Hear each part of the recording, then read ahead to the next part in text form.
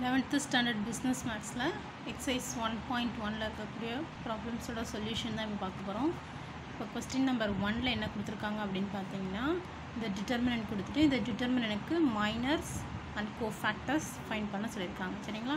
இப்போ first minor of first five five எடுக்கிறதுக்கு முன்னாடி சொல்லிட்டோம்னா ஹிண்ட் மாதிரி கூட நீங்கள் ஞாபகம் வச்சுக்கலாம்.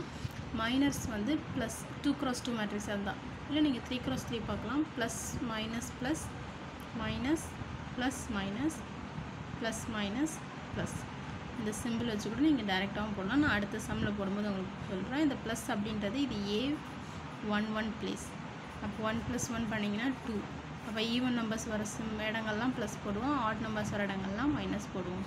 சரிங்களா? இப்போ நீங்கள் இதில் பாருங்கள் ஃபஸ்ட்டு மைனர் ஆஃப் ஃபைவ் இந்த ஃபைவ்ன்ற பிளேஸுக்கு மைனர் கண்டுபிடிக்க போகிறோம் அது எம் ஒன் ஒன் போட்டிருக்கேன்.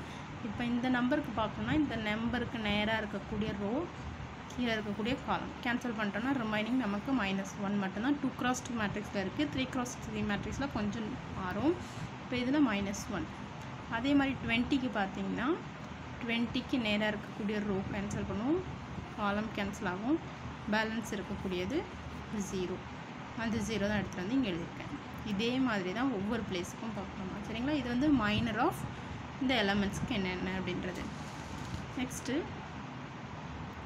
கோஃபேக்டர்ஸ் அப்படின்னா உங்களுக்கு ஆல்ரெடி ஒரு மெயின் ஜென்ரல் ஃபார்மில் பார்த்தோம். A I J is equal to minus one the whole power I plus J M I J இதுதான் ஜென்ரல் ஃபார்மேட் நம்ம ஏ ஒன் ஒன் பிளேஸ் இருக்கக்கூடிய ஃபைவ்க்கு பார்க்க போகிறோம் ஃபைவ்க்கு பார்க்கும்போது இப்போ இப்போ ஐன்றது நமக்கு ஒன்று ஜேன்றதும் ஒன்று இப்போ நம்ம இந்த ஃபார்முலாவில் இருக்கக்கூடிய ஐஜேலாம் மாற்றிருக்கேன் minus one whole power one plus one போட்டிங்கன்னா டூ ஈவன் நம்பர்ஸை மல்டிப்ளை பண்ணும்போது என்ன ஆகும்? Minus one into minus one is obviously plus one அப்போ இது ப்ளஸ் ஒன்னுன்ற ஆகிடும் எம் ஒன் ஒன்னுன்றது நம்ம ஆல்ரெடி இங்கே கண்டுபிடிச்சது.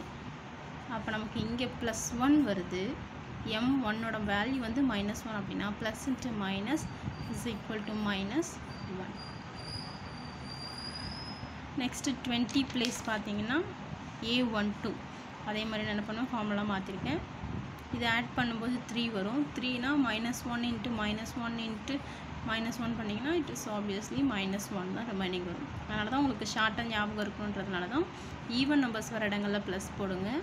ஆட் நம்பர்ஸ் வர இடங்களில் மைனஸ் போடுங்க அப்படின்னு சொல்லியிருந்தேன். பட் ப்ராப்பராக நீங்கள் எக்ஸ்பேண்ட் பண்ணாலும் உங்களுக்கு அதே தான் வரும். சரிங்களா?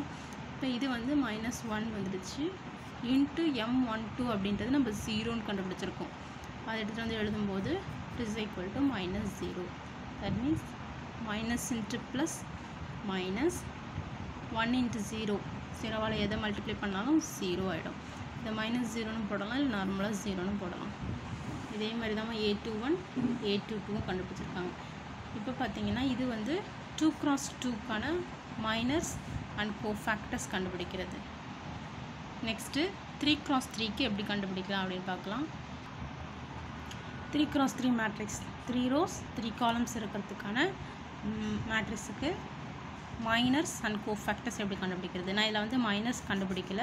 டைரெக்டாக கோஃபேக்டர்ஸே கண்டுபிடிச்சிட்டேன்.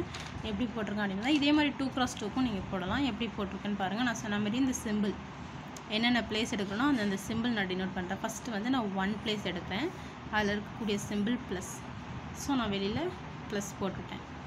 நெக்ஸ்ட்டு இந்த ஒன்னுக்கு நேராக இருக்கக்கூடிய ரோ காலம் கேன்சல் பண்ணிட்டேன்னா எனக்கு ரிமைனிங் இந்த பார்ட்டு தான் இருக்குது அதை நான் டிட்டர்மினெண்ட்டில் இங்கே எடுத்துகிட்டு வந்து எழுதியிருக்கேன். சரிங்களா?